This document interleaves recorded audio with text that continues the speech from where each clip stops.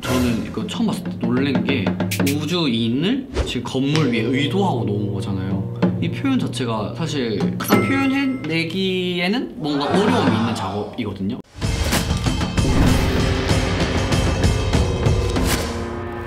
저는 클래스 101에서 레이어에 담아낸 상상이라는 포토샵 콜라주 클래스를 진행하고 있는 도요입니다. 지금부터 제 classmate 분들이 올려주신 콜라주 작품들을 보고 감히 훈수 한번 더 보겠습니다. 이야, 오 좋은데요? 지금 보시면 밑에 가사를 한 줄 적어놨고 아마 이 가사에 지금 영향을 받으신 것 같아요. 서울 하늘에 별 하나 없네라고 해서 진짜 별이 없어요. 그리고 우리가 마신 거 운명이라는 거에 이제 운명을 달이라는 메타포로 바꾸신 것 같아요. 그래서 지금 술잔에 달이 있고 이 메타포를 마시는 순간은 우리는 이제 운명이 되는 거다. 약간 이런 느낌인 것 같은데 이 판단은 되게 좋은 것 같아요.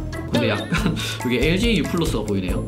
어쨌든 어, 하늘에 별 하나 없네라고 해서 별을 안 넣으신 건 어, 저는 진짜 너무 직관적이고 좋은데 그 뒤에 대신에 어떤 뭐 blending mode를 주신 건지 약간의 뭔가 실루엣이 남아있거든요. 아 이게 무슨 연관이 있는 건가? 이 부분은 과감하게 그냥 제해주는 게 오히려 더 예쁠 것 같아요. 어, 이거 하려고 노래를 한 시간 정도 들으셨대요. 정성 쏟아주셔서 감사합니다. 음, 오. 저는 딱 봤을 때, 어, 덤디덤디라는 곡이 신나는 곡 아니에요? 약간 여름 그런 느낌을 담아주신 것 같아요. 항상 곡을 리디자인 할 때도 자기의 해석을 담아서 넣는 게 되게 중요하다고 생각해요. 나는 이 곡을 들었을 때, 예를 들면 동물이 생각났다. 어, 동물을 담는 거고, 수족관이 생각났다 하면 수족관을 담는 거고, 제 해석에서는 약간 이런 동물이 나오는 걸 상상하진 못한단 말이에요. 근데, 아, 이런 식으로 해석할 수도 있구나. 포인트로 이렇게 아이들 로고까지 넣어주신 것도 너무 좋고요. 근데 약간 아쉬운 거는 이게 원이 있다 보니까 아무래도 그 틀 안에서만 생각을 했던 것 같아요. 저였으면 오히려 그냥 덤디덤디를 원 밖에 이렇게 빼도 나쁘지 않았을까?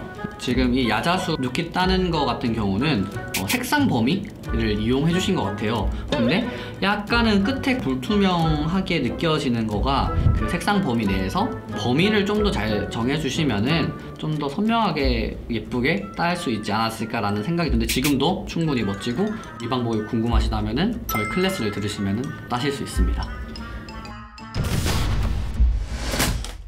오 신박한데요? 콜라주가 딱 보면은 이 사람이 뭘 좋아하는지 티가 나요 이제 마리님께서 만들어주신 이 artwork를 처음 봤을 때 상당히 자기 색이 있구나 왜냐면 아트워크는 다크한 거를 하는 사람이 애초에 없거든요 많이 이렇게 가운데 손가락을 일부러 만드신 건가? 아니겠죠? 아 그래서 뒤에 코로나 맥주가 있는 건가요 지금? 약간 아쉬운 점이 있다라고 하면은 뭐 사진일 거면 다 사진으로 쓰는 게 조화롭고 그림일 거면 그림인 오브제끼리 뭉쳐서 만든다거나 이런 식으로 하면 좋고 사진을 약간 질감을 입혀서라든지 좀 더 흐리게 한다든지 그림처럼 만들어서 같이 갖다 붙이는 것도 괜찮은 방법일 것 같아요. 근데 지금도 자기가 어떠한 감성을 가지고 한 건지가 드러나는 작품이어서 전 그 자체로 일단 너무 좋은 것 같아요.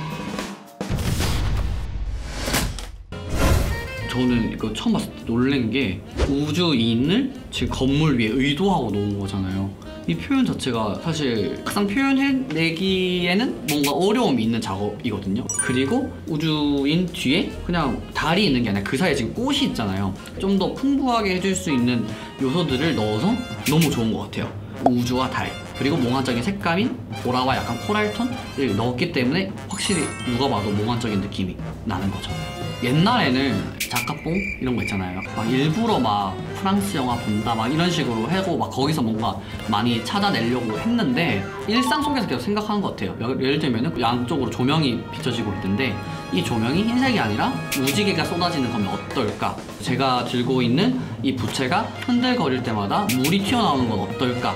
몽환적인 요소를 쓰면 돼요, 그냥. 이 노래를 들어보진 않았는데 한번 들어봐야겠네요. 이걸 보고 나니까. 정말 다양한 사람들이 정말 다양한 것에 초점을 두고 정말 다양한 감성을 가지고 사는구나를 느낄 수 있어서 너무 의미 있는 시간이 된 것 같아요. 오히려 제가 더 영감 받고 가는 시간이 된 것 같네요. 이상 프로운 습군 도요였습니다.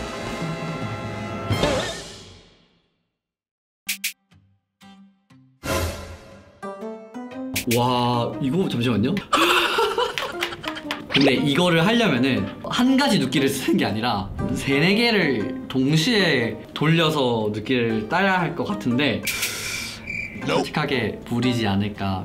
네. 하지만은 이것보다 덜한 건 딸 수 있다. 여러분들 많은 수강 부탁드릴게요.